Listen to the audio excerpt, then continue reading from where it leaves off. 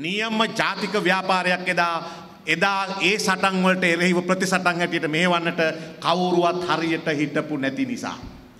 ඒ නිසාම තමයි ඉතාමත්ම වැදගත් වෙන්නේ නූතන ජාතික ව්‍යාපාරයක තිබෙන අවශ්‍යතාවය තදින් දැනෙන්න පටන් ගන්න. එලාරට එරෙහි සටන කාලිංග මාගට එරෙහි සටන සොලින්ට එරෙහි සටන් යම් යම් ජයග්‍රහණ අපි අත්පත් කර ගත්තත්. සුදු අධිරාජ්‍යවාදීන්ට යුරෝපා ජාතීන්ට එරෙහි කරන ලද ප්‍රතිසටන් වලින් අපි ජයග්‍රහණ අත්පත් කරගත්තේ නැහැ. අපිට පරාජයන් අත්පත් වෙලා අවසානයේදී අපි යටත් විජිත බවට පරිවර්තනය වුණා. ඒ නිසා ඌව වෙල්ලස්ස සම්පූර්ණයෙන්ම 48 18 දී විනාශය කරා ගමන් කළ මුළු ඌව වෙල්ලස්ස සියලුම දෙනා ප්‍රදේශ අත්හැරලා ඒවා මුඩු බිම් බවට පරිවර්තනය වුණා. ඒවා කෙලින්ම මුඩු බිම් බවට පරිවර්තනය වුණා. අදත් අපිට බැරි වෙලා තිබෙනවා ඕගොල්ලෝ දන්නවා ලංකාවේ දුප්පත්ම ප්‍රාදේශීය ලේකම් කොට්ටාස කීපය නියෝජනය කරන්නේ මොනරාගල දිස්ත්‍රික්කයේ සහ බදුල්ල දිස්ත්‍රික්කයේ. අදත් ඒ ප්‍රදේශ තාම අපිට අස්වද්දන්න පුළුවන්කම ලැබිලා නැහැ. අදත් ඒ ජනී ජනයාගේ දේශමාන්‍ය දේශමාභිමානය මතු කළ අරගෙන රට සස්ත්‍රීක කිරීමට අදාළ ජාතික කාර්යභාරය සංවර්ධන ජාතික කාර්යභාරයට මැදිහත් කරගන්න තාම අමාරු වෙලා තිබෙනවා. ඒ නිසා ඌව පළාත් සභාවට අයිති මොනරාගල සහ බදුල්ල කියන ප්‍රදේශයෙන් ජාතිකාර්ථකයට දක්වනු ලබන දායකත්වය අනිකුත් පළාත්වලට වඩා තවම තිබෙන්නේ පල්ලෙහා මට්ටමක. තවම තිබෙන්නේ පල්ලෙහා මට්ටමක ඕගොල්ලෝ දන්නවා හරිම අමාරුවෙන් තමයි මේ කොටස් තාම නියෝජනය කරන්නේ. ඒ නිසා පේනවා ඉතිහාසයෙන් පාඩම් ඉගෙන ගත්ත අපි ඓතිහාසිකව අපේ ඉතිහාසය කියවපු අපි වර්තමාන දේශපාලන සන්දර්භයන් හරියට කිරාමැන බලන අපි අපිට වගකීමක් තිබෙනවා නූතන ඒ රටට එල්ල වෙන අනතුරු හරියට එන්නට කලින් තේරුම් අරගෙන පිළියන්දලින් ගොනා හැරෙන්නේ පොල් පැලේ කන්න බව හරියට තේරුම් අරගෙන කෑවට පස්සේ දඟලන එක පසෙක තබා කන්ට පෙර කෑම වැළැක්වීමේ ඉලක්ක තියාගෙන අවශ්‍ය කරන දැක්මක් සහිත විෂන් එකක් සහිත වැඩපිළිවෙලක් සහිත ජාතික ව්‍යාපාරයක අවශ්‍යතාවය ඒ නිසා අපිට දැනෙනවා. ඒ නිසා තමයි අද අපි මහනුවරට එන්නේ. ඒ නිසා තමයි අපි හෙට මාතරට යන්නේ. ඒ නිසා තමයි අනිද්දා ඉන් අනිද්දා අනිකුත් දිස්ත්‍රික්ක පුරා 20 දිස්ත්‍රික්ක 22 පුරාම අපි යන්න සංවිධානය කරමින් ඉන්නේ. ඒ සඳහා තමයි රාජ මහත්මයලා දිලීප් මහත්මයලා ඒ අභ්‍යන්තරික සංවිධාන වැඩ හැමතැනම කරමින් යන්නේ. ඕගොල්ලොත් අද ඇහිලා තිබෙන්නේ ඒ නිසා තමයි කියලා අප විශ්වාස කරනවා. ඇයි? අපි මෑත ඉතිහාසයේ ජාතික ව්‍යාපාරයක් හැටියට යම්කිසි ජයග්‍රහණ විඳලා ඒවයේ ආස්වාදයෙන් ආස්වාදනය විඳිමින් ඉන්න මොහොතක තමයි ඒ පින්මද තවදුරටත් ඉස්සරහට අරගනිමින් තවදුරටත් ජාතික ව්‍යාපාරය ශක්තිමත් කරලා ඉදිරියේදී එන්න තියෙන අනතුරු කල්තියා දැනගෙන පාලකයන්ට අනතුරු අඟවන්නත් පාලකයන් වැරදි මග යනවා නම් කණෙන් අල්ලා නිසි මගට ගන්නත් හරි මග යනවා නම් ඔහොම යන් ඔහොම යන් කියලා කියලා සාදුනද දෙන්නත් මග පෙන්වන්නත් අවශ්‍ය කරන ජාතික ව්‍යාපාරයක් අපි හදන්න ඕනෑ කියන තැනට දැන් ඇහිලා තිබෙන්නේ. ඕගොල්ලෝ දන්නවද හැමෝම බලාගෙන ඉන්නවා අඩු ගානේ සිවිල් සංවිධාන එකමුතු හා වෘත්තීය සමිති එකමුතුව වැඩේ ඉන්නවා අතගහයි ඕන එකකට කියලා. ඔක්තෝබර් මාසේ 26 වෙනිදාත් 2015 ජනවාරි මාසේ 8 වෙනිදා ඒ ජාතික ව්‍යාපාරවලට නායකත්වයේ දුන්නු. ඊතරම් සංවිධානාත්මක බවක් තිබිච්ච නැති යම් යම් යම් යම් එකතු කර ගැනීම පමණකින් සමන්විත වුණු අර මොකද්ද බර හැදුනාම පිට්ටනි හොයනා වගේ වර්ගයේ ලදරු අවධියක් අපි නියෝජනය කළේ ඇත්තටම කියනවා නම් එහෙම. එහෙම නියෝජනය කරමින් ඉඳලා තීද්දිත් අපිට පුළුවන් වුණා දැවැන්ත රජෙක් හැටියට නම් දරා සිටපු. මහරජායයි ආරූඪ කරලා තිබුණු. සමාජයේ විසින් යම් යම් අය විසින් ආරූඪ කරලා තිබුණු. ඒ නිසා මේ ඇඳුම ඇඳගෙන තමයි ආරූඪයෙන් මුසපත් වෙලා රාජ්‍ය පාලනය කරපු සියලු සම්පත් තමන්ගේ යටතට අරගෙන ඒ ඒකාධිපති බලයක් මෙහෙවපු රජාව ඒ ජනවාරි මාසේ 8 වෙනිදා ගෙදර යවන්නට නැත්තම් පාලන බලයෙන් නිර්පා දැමීමට ඒ පුළුවන්කම ලැබීමේ ලොකු කොටස්කාරය බවට පත් උනේ මේ සිවිල් සංවිධාන එකමුතුවා ජාතික ව්‍යාපාර හැටියට අද අපි මේ ඔබ දකින මේ මුහුණු සහ මේ මුහුණු කීපේ එකතු වෙලා ඔබ ඇතුළු අපි කට්ටිය එකතු වෙලා කරපු විශාල කාර්යභාරයක් නිසා. ඒ නිසාම පුළුවන් වුණා ලෝකේ විස්මයටපත් වුණා. ලෝකේ බලාපොරොත්තු වුණේ ඡන්ද ප්‍රතිඵලය 2008 2015 ජනවාරි 8 මෙහෙම නෙමෙයි. ලෑස්ති වෙලා හිටියේ එහෙම එකටත් නෙමෙයි. ඒ අය සූදානම් වෙලා හිටියේ නෑ නෑ එහෙම මහජනයා අපිට ඒව මෙහෙවන එකක් නෑ කියලා. මහජනයා අපිත් එක්ක අමනාප නෑ කියලා. මහජනයා අපි කරන සියලු ත්‍රස්ත ක්‍රියා අනුමත කරાવી කියලා. රටේ ජනයා වහල් වූසේ සමය වුන් විශ්වාස කළේ. රටේ ජනයා හැම එකටම එහෙයි කියයි කියලා තමයි වුන් විශ්වාස කළේ.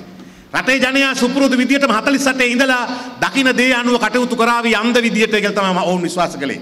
ඒ නිසා අපිට කිසිම ප්‍රශ්නයක් නැහැ සීරුමාරුවෙන් වැඩේ ඉස්සරහට ජනවාරි 8න් පස්සෙත් කරගෙන යන්න පුළුවන් පෞල් පාලනය ඒ මහා සුකුරි බටිල්ලාගේ ජීවිතය ගෙනියන්න පුළුවන් කියන විශ්වාසයෙන් තමයි ඔවුන් ඇත්තටම හිටියේ. නමුත් ජනවාරි 9 මධ්‍යම රාත්‍රී වෙනකොට ජනවාරි 8 මධ්‍යම රාත්‍රියේ පහු කළා පාන්දර වෙනකොට තමයි පස්ස පැත්ත රත් වෙලා හිතන්න පටන් ගන්න ඔවුන් කල්පනා කරන්න උනේ. ඔවුන් ඔවුන් ඓතිහාසික පාඩමක් ඉගෙන ගත්තා ලංකා ඉතිහාසයේ අන් කවරදාකටත් වඩා. සාම්ප්‍රදායික විදියට හිතන මිනිස්සු වෙනුවට පවුල් පවුලේ අම්මා තාත්තා විසින් ගනු ලබන තීරණේ දුවා සහ පුතා විසින් ගැනීමට නියමිතයි ඒ නිසා ගන්නව ඇතයයි විශ්වාස කරමින් හිටපු පාලකයන්ට ඒ මග නොව වෙන මගක් ගත්ත ජනයා විසින් දුන්නු පාඩමක ඒ නීරස රසය විඳින්නට එදා පුළුවන්කම ලැබුණා අපිට හැකියාව වුන්ට අත්පත් කළ දෙන්න පුළුවන්කම ලැබුණා. ජනයා වෙනස් විදියට හිතන්න පුළුවන්කමට ඇත්තට අපිට මනෝභාවයන් මිනිසුන්ගේ හදන්න පුළුවන් වුණා. ඒ සඳහා අපි තාක්ෂණය පාවිච්චි කරපු එක ඇත්ත.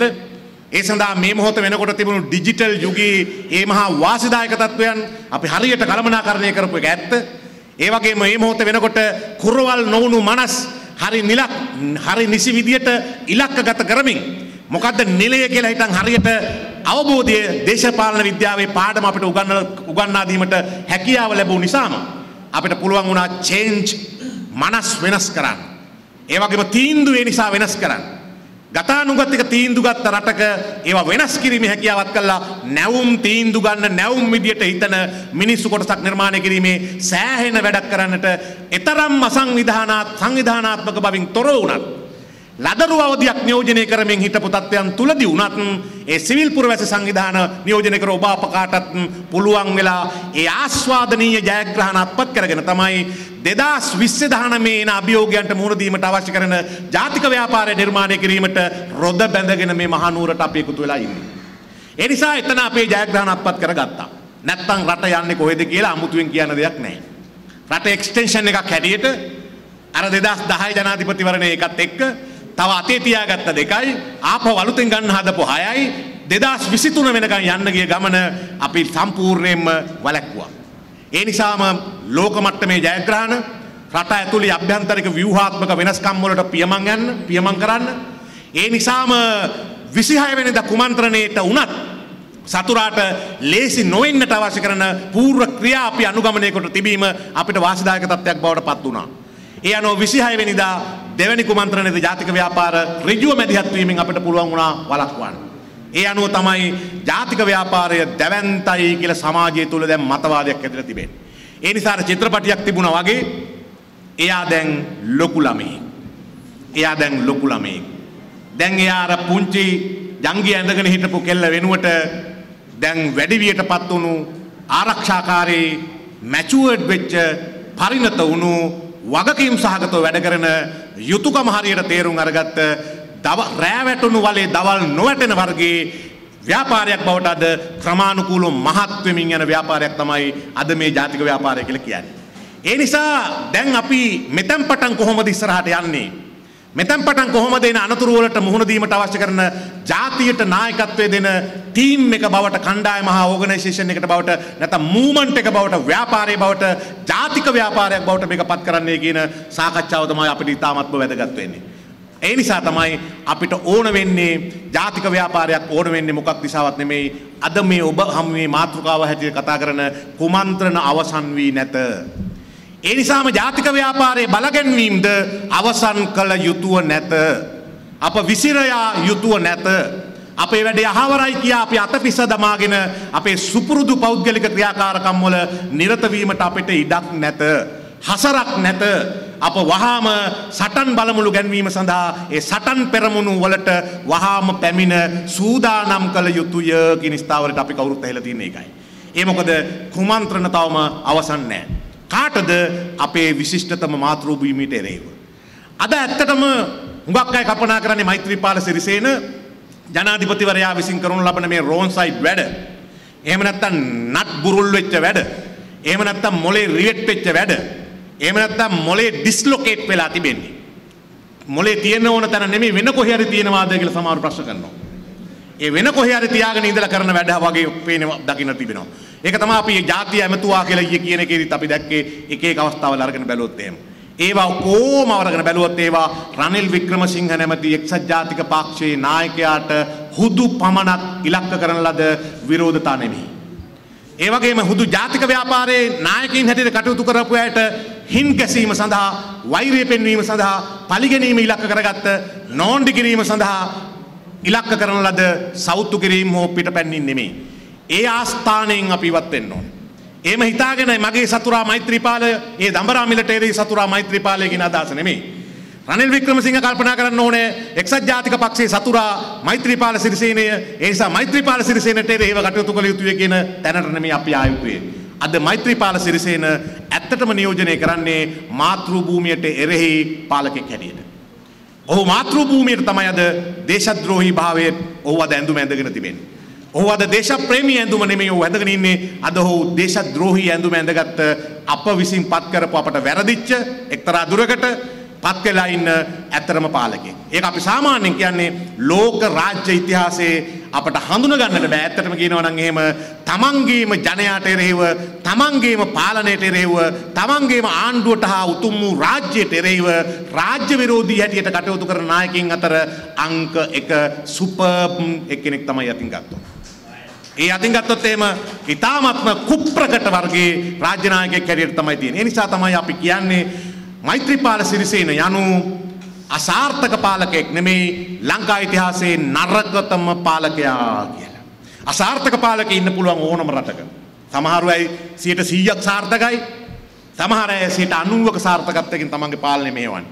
සමහරු 50, සමහරු 40, සමහරු 30 doesn't matter. ඒක එච්චර ප්‍රශ්නයක් නෙමෙයි. ඒක සක්්‍යතාවය පිළිබඳ ප්‍රශ්නයක් මිසක් ඒක තමන්ගේ ಗುಣමකුකම් පිළිබඳ හෝ ද්‍රෝහීකම් පිළිබඳව සාධකයක් නෙමෙයි ඒක. හැබැයි තමන් ඉතාමත්ම නරකයි කියලා කියනකොට හොඳ එකේ අනිත් පැත්ත. හොඳ එක්කෝ එක්කෝ නරක. නරක එක සම්බන්ධයෙන් ගත්තාම ඒක ඇහිලා ශක්්‍යතාවය පිළිබඳ ප්‍රශ්නයක් නෙමෙයි තමා රට සම්බන්ධව දක්වන ආකල්පයේ ඇති වුණු ද්‍රෝහී ලක්ෂණයක්. ඒ නිසා ඒක භයානකයි ඒක ඉතාමත්ම නරකයි ඒ නිසා අපි කියනවා අසාර්ථකම පාලකයා ඔහුය කියලා. ඔහුගේ ජාතිය මතමින් කිව්වෙත් එතනින් නම් පටන් ගත්තාම ඔක්කොම එහෙම තමයි. ඒ වගේම ඔහු ඔක්තෝබර් 26 වෙනිදා ගත්ත තීන්දුව ටික ඔක්කොම රටට හතුරු තීන්දුව. ඒ නිසා තමයි රුපියල් කෝටි අපි සංඛ්‍යා වලින් කිව්වොත් දැනෙන්න. රටට හතුරු කමේ කොයිතරම් ප්‍රමාණයක්ද කියලා කිව්වොත් එහෙම. රනිල් වික්‍රමසිංහගේ පුද්ගලික ගිණුමේ සතයක්වත් මෛත්‍රීපාලගේ ඔක්තෝබර් මාසේ 26 වෙනිදා ගත්ත ව්‍යවස්ථා විරෝධී ක්‍රියාමාර්ගය විසින් සත පහක්වත් අඩු වුණේ නැහැ. ඒ වගේම ඔහුගේ පක්ෂයේ පක්ෂාර මුදලට අදාළව සත පහක්වත් මුදලින් ඔහුගේ අඩු වුණේ නැහැ කියලා අපි හිතනවා. හැබැයි ඒ වුණාට මාතෘ භූමියේ අර්ථයෙන් ගත්තොත් එහෙම ශ්‍රී ලංකාවේ රුපියල් කෝටි 70000කට වඩා මේ දින 52 ඇතුළත අපට අහිමි කරලා තිබෙනවා.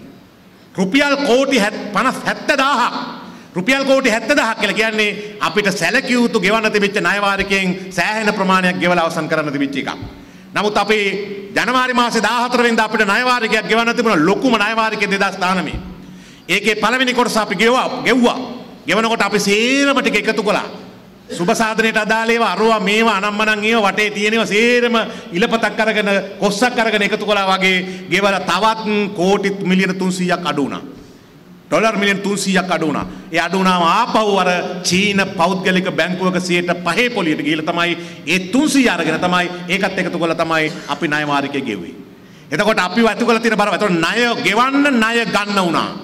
සාමාන්‍යයෙන් අපි ගන්නේ IMF එකෙන් ඉන්ටර්නැෂනල් මොනිටරි ෆන්ඩ් එකෙන් ජාත්‍යන්තර මූල්‍ය අර මුදලෙන් නැත්නම් WB එකෙන් වර්ල්ඩ් බැංකුවෙන් අපි සාමාන්‍ය ගන්නේ 0.02 2යි වගේ පොලි වලට. නමුත් ඒවා ඔක්කොම දොරවල් වහලා තිබ්බේ. ඇයි?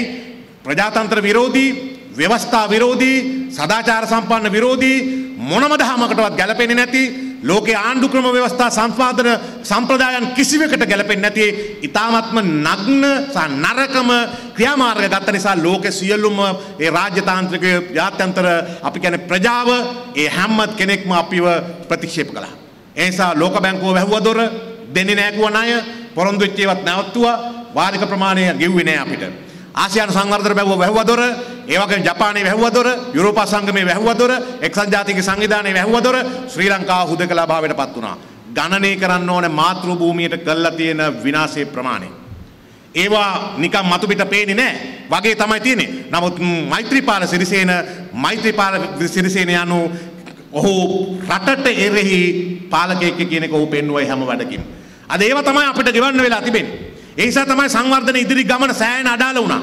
ඕගොල්ලෝ කල්පනා කළා කෝ දැන් අඩු ගානේ සැලසුම් කරගෙන තිබුණේ ගම්පෙරළිය ඇහිල්ලා එන්ටර්ප්‍රයිසස් ශ්‍රී ලංකා ඇහිල්ලා සංවිධාව නිර්මාණය කළා අලුත් ව්‍යවස්ථාව ඇහිල්ලා රට ඇතුලේ ව්‍යුහාත්මක වෙනස්කම් හදලා සිංහල දෙමළ මුස්ලිම් සමගිය ස්ට්‍රෝං කළා ශක්තිමත් කරලා ඒ හරහා නැවුම් සමාජයක් නිර්මාණය කළා.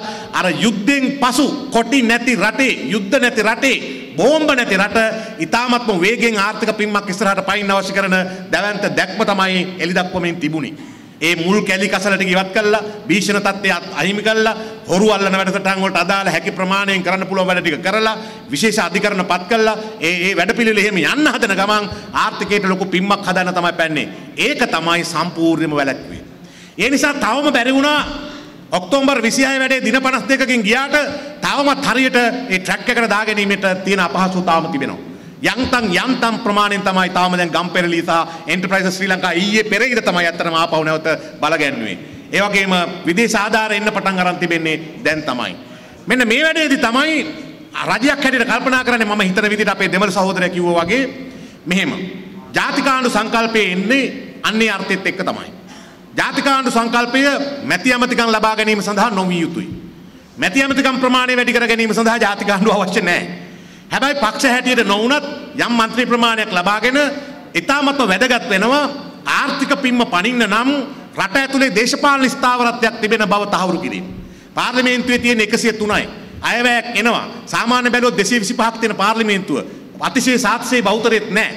යම් විදියකින් දෙමළ ජාතික සන්ධානය තමයි සහයෝගාත්මක පදනමින් ඉන්නේ. ඒත් ආණ්ඩුව ඇතුළට ඇහිල්ලා නැහැ. යම් විදියකින් ජාතිකමය ප්‍රශ්න සම්බන්ධව විරසකකමක් ඇති වුණොත් එහෙම අතරමඟදී ගන්න තීන්දුවක් විසින් පාර්ලිමේන්තු පනතක් සම්මත කරගන්න බැරිනොත් එහෙම ආණ්ඩුව එතනින් අවසන් වෙනවා.